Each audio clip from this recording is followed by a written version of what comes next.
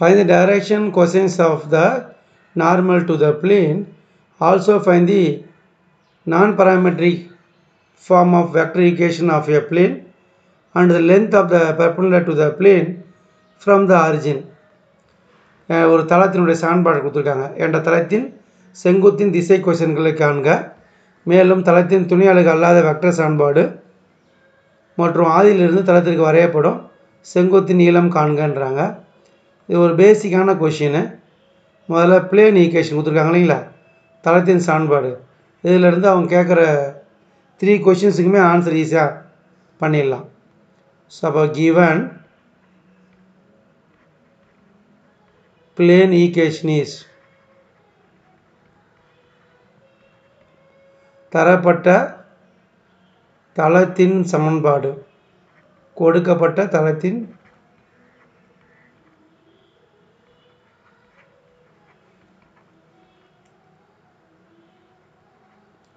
என்ன கொடுத்துருக்காங்க சொல்லுங்கள் twelve x plus three y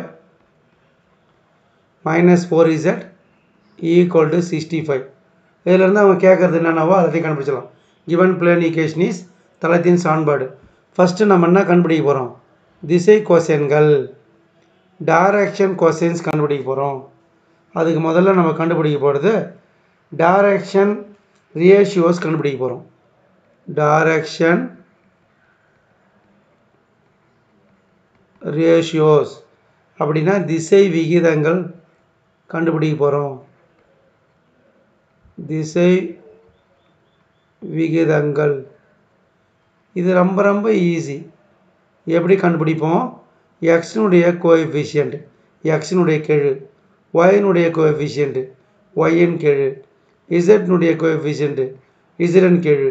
இதை கண்டுபிடிச்சா அதான் திசை விகிதங்கள் டைரக்ஷன் ரேஷியோஸ் எல்லா பிள்ளைங்களுமே புரிஞ்சிட்டு இருக்கும் நம்மளோட டைரக்ஷன் ரேஷியோவை கேட்குறாங்க திசை விகிதங்களை கேட்குறாங்க இல்லை டைரக்ஷன் கோசைன்ஸ் திசை கோசைன் கேட்குறாங்க அப்போ நம்ம கண்டுபிடிக்க போகிறது டைரக்ஷன் கொசைன்ஸ் திசை கொசைன்கள் அதுக்கு நம்மளுக்கு மேக்னிடியூடு தேவைப்படுது. மேக்னிடியூடு கண்டுபிடிக்கணும். மேக்னிடியூடுனா டைரக்ஷன் ரேஷியோஸை ரூட்டுக்குள்ளே ஸ்கொயர் பண்ணி ஆட் பண்ணணும்.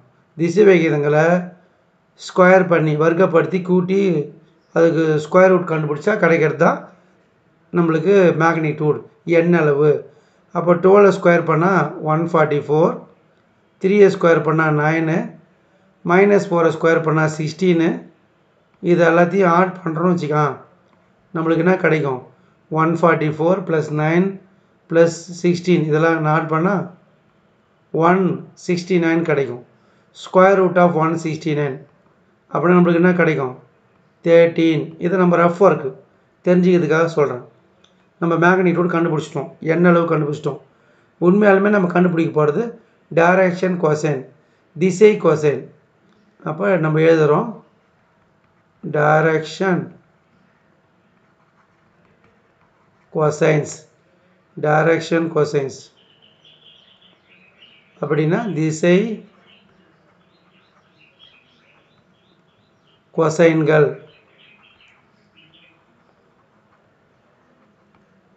இது ஈஸியாக கண்டுபிடிப்போம். அது எப்படின்னு பாருங்களேன். பார்க்கும்போதே உங்களுக்கு புரியும்.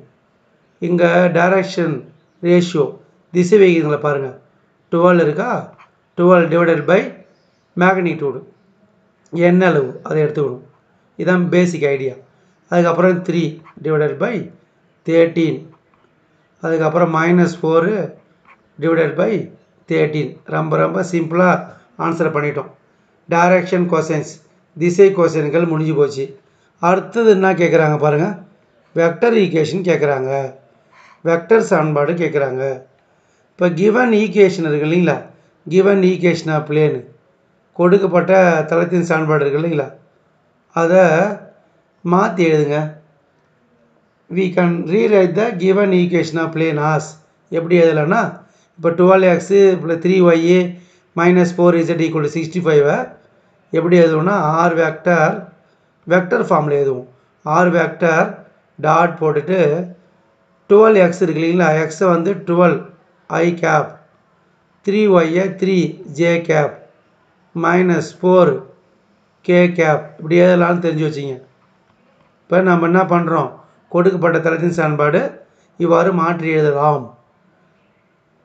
Given uh, plane equation can be written as we can rewrite the given equation of plane as கொடுக்கப்பட்ட தளத்தின் சமன்பாடை இதை மாதிரி நம்ம மாற்றி அமைக்கலாம்ன்றது தெரிஞ்சு போச்சு.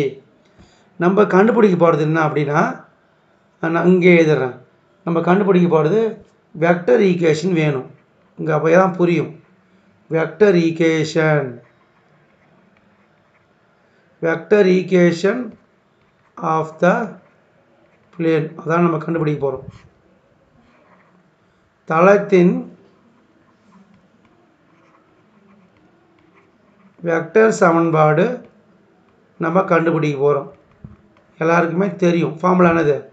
R vector dot N cap equal to P இதுதான் ஃபார்முலா நம்மளுக்கு என்ன இருக்குது R vector dot N vector equal to பின்னு இருக்குது அப்போ இந்த இடத்த என் கேப் வேணும். என் வெக்டருக்கு என் கேப்பாக மாற்றணும் அது எப்போ என் கேப்பாக மாறும்னா இங்கே என்ன பாருங்கள் டைரக்ஷன் ரேஷியோஸை நம்ம ஸ்கொயர் பண்ணி ஆட் பண்ணி ஸ்கொயர் விட்டார்னா கிடைக்குது.